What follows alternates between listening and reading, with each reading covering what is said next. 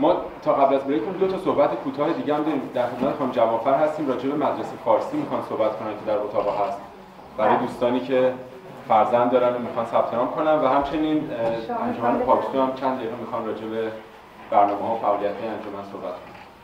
خب سلام به همگیتون. خیلی خوش آمدید به کانادا اگه تازه اومدید من واقعیتش اینه که در مورد کلاس های فارسی نمی‌خوام به شما بگم که ما در یک ساعت مشخصی در جایی کلاس فارسی برای بچه های کودکستانی تا کلاس هشتمی داریم. من می‌خوام از شما خواهش بکنم که به کلاس های فارسی و هر آنچه که از نظر فرهنگی در مورد همین جامعه کوچیک خودمون برگزار میشه از دیدگاه های مختلف نگاه کنید به اهمیتی که هر کدوم از این فعالیت ها من جمله فعالیت امروز داره. از دیدگاه سیاسی و اقتصادی نگاه کنید و بدونین که به عنوان شهروندان یا به زودی شهروندان این جامعه از اونجایی که مالیات پرداخت می‌کنین یک سری حق و حقوق و امکاناتی در اختیار ما قرار می‌گیره که متاسفانه خیلی وقتا ازش استفاده نمی کنیم از دستمون میره و نمی‌تونیم به این جامعه میزبان. تا زمانی که بخش خیلی به اصطلاح آمیخته ای ازش بشیم نمی‌تونیم احتیاجات خاص خودمون رو نشون بدیم و ثابت بکنیم.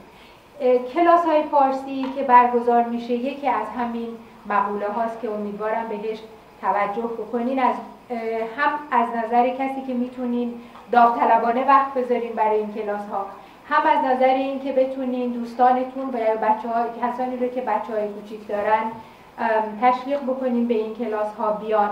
من الان در مدرسه به اسم بیشور با بچه های کوچیک کار می‌کنم بهشون فارسی یاد میدم. تقریبا می‌تونم بگم هفت تا هشت کلاس عربی زبان داریم. کلاس های فارسی رو ما من و همکارم فرید جون به سختی تونستیم در حد دوتا نگه داریم با تعداد بسیار مینیموم و کم تعداد دانشجوها. که اصلا جنبه خوشی برای کل جامعه ما نداره. من باورم بر اینه که تعداد ایرانیان مقیم اتاوا بیش از اونیه که الان بچه هایی تو کلاس های ما شرکت می‌کنن و بیشتر هم داره میشه به طور دائم خیلی مهمه که کلاس های فارسی رو فقط به عنوان جایی که بچه ها چهار کلمه فارسی یاد می‌گیرن نگاه نکنید. بهش به عنوان چیزی که به بچه های ما هویت میده نگاه کنید. پس اگه بخوام یه جور دیگه ای بیان بکنم صحبت من باید با شما در مورد این باشه که تاثیر روانی و هویتی که این کلاس ها روی بچه هامون و در آینده روی نوجوانانمون خواهد داشت چطوره؟ باید به شما بگم از نظر دیدی که کل جامعه کانادا به ما نگاه می‌کنه. در مورد استفاده کردن از این امکانات این امکانات وجود داره. حقوق من رو آموزش و پرورش میده. در واقع حقوق من شما میده. شمایی که اینجا مالیات پرداخت می‌کنید ولی اگر به این مسائل واقف نباشید و ازش استفاده نکنین این پیغام رو ما داریم به این جامعه میدیم که اوکرز احتیاجی ندارم. در حالی که اگر یه همچین بهایی داده بشه به این کلاس ها می‌تونه از نظر فرهنگی از نظر هویتی برای جامعه ما اهمیت بیشتری داشته باشه. در مورد بچه ها همه می‌دونیم که یادگیری دو زبان می‌تونه از نظر رشد شخصیتی از نظر رشد فکری توانایی های اجتماعی توانایی های احساسی حتی به بچه ها کمک بکنه. اینا مسائلیه که روانشناس ها میگن من هم شنیدم می‌تونم در همین حد در اختیار شما بذارم. اگه بچه ها زبان مادری رو یاد بگیرن به یادگیری زبان دومشون هم کمک بسیار زیادی می‌کنه. در نهایت می‌خوام از شما خواهش بکنم که اگر کسانی رو می‌شناسیم که بچه هایی دارن که می‌تونن به مدرسه فارسی بیان حتما تشویقشون بکنین این کار رو بکنن. کلاسی که من الان درس میدم از بچه کودکستانی داره تا بچه کلاس سومی. وقتی تعداد بچه ها کمه هر کلاسی مالتی لول میشه. در نتیجه کیفیت ارائه کار پایین میاد.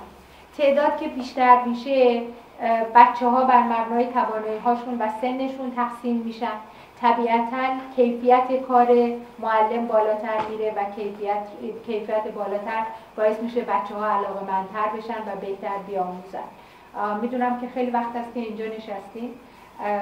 خسته هستیم. فقط می‌خوام به شما بگم که یکی از کارهایی که کلاس فارسی می‌تونه بکنه اینه که مراسم فرهنگی مثل عید نوروز رو به کمک بچه ها برای بچه ها برای حفظ این فرهنگ ما بتونیم برگزار بکنیم کمک می‌کنه وجودشون.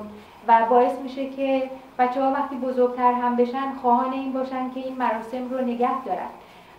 توی تورنتو من می‌خوام یاد بکنم از خانم پروانه میساقی کلاس هایی رو سال هاست که کمک کردن در آموزش پرورش تورنتو برقرار 16 کلاس فارسی. شما باید مراسم نوروز اینا رو ببینید. در تمام مراسم نوروزی اینا از شخصیت های سیاسی و شهرداری و غیره هم دعوت می‌کنن و به این ترتیب هستن. جایگاه خاصی برای جامعه ایرانی در اونجا باز شده. من در خدمتتون هستم. می‌تونین گوگل کنید. من اگه اشتباه نکنم سه تا مرکز داریم که من خودم به طور به اتاوا تازه وارد هستم. دقیقا نمی‌دونم. اونجایی که من تدریس می‌کنم دبستان بیشوره که می‌تونم آدرسش رو بعدا در اختیارتون بذارم. گرچه که اون چی که می‌بینم در اینجا تعداد زیادی از شماها حتی ممکنه بچه نداشته باشید. ولی پیغام من رو به گوش اونهایی که دارن فرزندانی برسونید. خیلی متشکرم.